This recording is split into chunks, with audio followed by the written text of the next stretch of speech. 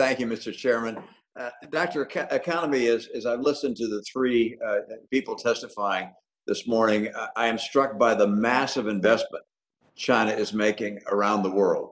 Uh, an investment in, uh, in propaganda, an investment in sending students around the world, uh, of course, the Belt and Road, making loans all throughout Latin America, through Africa, uh, to the Middle East. Uh, the, the number in Iran was massive. How are they financing all this? How do they afford it? Where, where's the money coming from? Because we're not providing anywhere near the kind of investment around the world that they are. And, and yet we're the larger economy in the world. How is it they're able to afford all of these massive investments? Well, I mean, first, a, a lot of the Belt and Road investment is not actually investment, but loans. And I think that's important to remember that, you know, they're lending the money to uh, these countries and then uh, they're using, these countries are often using Chinese uh, construction firms, Chinese equipment. Uh, and so, or they're getting paid back through, you know, resources. So it's one big cycle of, of Chinese money going through and coming back to China. Uh, and they're able to do that because they have such low cost labor, they underbid and they subsidize. Uh, so, you know, I think uh, they put a priority on this uh, is, is also how they're able to do it. Um, and we have not put a priority on this. I mean, it is also less expensive, uh, frankly, to, uh, you know, host a student in China than it is to host a student in the United States. Um, so I think uh, there are a number of, of ways, but I think fundamentally what it speaks to is, you know, Xi Jinping's belief that this kind of outreach is going to pay off, uh, you know, over the long term, and that it is, uh, you know, bent on, you know, especially in the technology field with the digital Silk Road, you know, China is going to to basically provide the you know technological infrastructure for the 21st century. It's a long-term investment in play. Yeah, yeah but it is as they as they loan money to a foreign country to build a port or to build uh, whatever. Uh, they yeah the country is going to pay them back in the future, but in the current, they're actually spending the money to pay people to go to that country to build the port and so forth. So they're there's a lot of money coming in. A lot of that money is coming from the U.S. and that we have pension funds and others that are investing in China. Uh, so I, I, think we need to think of that.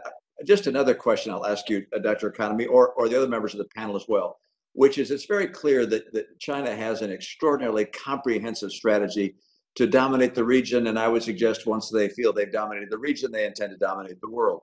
Um, uh, and and uh, I mean, their, their strategy includes their military, uh, their their uh, competitiveness economically, their propaganda efforts, uh, the management of their own people, their their their monitoring of their own people, their geopolitical strategy with Belt and Road, the technology transfer. It's it's an unbelievably comprehensive strategy.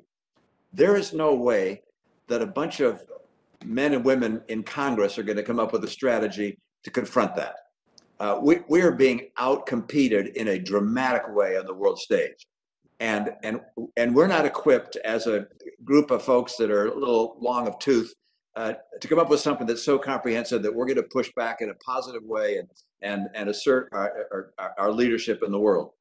And so I wonder, what do we do?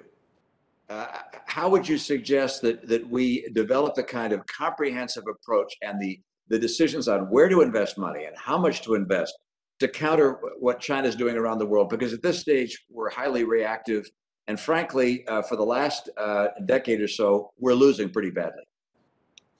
So I'm going to make one quick point and then please everybody else jump in. And that is, I think, you know, we have to have our own vision. We have to have our own vision for what uh, the United States, its place is going to be in the world and for what the world's going to look like in 2049. And then we have to structure down from that. And then we have to work with our allies to realize that vision. Because I think you're right. Otherwise, we end up simply responding to the thousand different initiatives that China is putting forth. Uh, and so, even to say about strategic competition with China, really it should be about, you know, what does the United States want this world to look like in 2050 and how are we going to get there? I think that's how we have to approach this. Thank you. The other members are ha happy to have your comment. So I think, so, uh, sorry, Mr. Khan, go ahead, please. Yeah, so within the technology domain, I think China still recognizes that with respect to certain high-end technology supply chains, um, semiconductors being one of them, they're actually still relatively dependent on the United States and allies. Um, that might not uh, remain the case uh, in the years ahead, but uh, uh, they're investing quite heavily to, to hopefully gain technology independence in uh, some of those domains. They're trying to localize supply chains. And so whatever we can do in our technology strategy, kind of maintain that leverage that we have now, will have huge uh, geopolitical and strategic relevance in the years ahead. Thank you.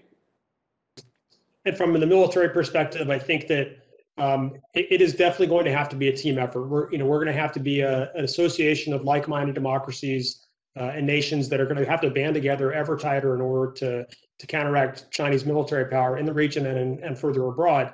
I point out that from a military perspective, China's not really trying all that hard yet. I mean, their their uh, est- outside estimates, not theirs, I never believe theirs, but outside estimates of their uh, military spending is less than two percent of GDP. So they're not really quite breaking a sweat yet. Uh, which means we're going to it's going to take greater involvement, contribution, both in terms of perspectives provided, uh, strategies considered, and just just shoulders put to the wheel to, to make it to be able to succeed in the long run. Thank you. My time is up.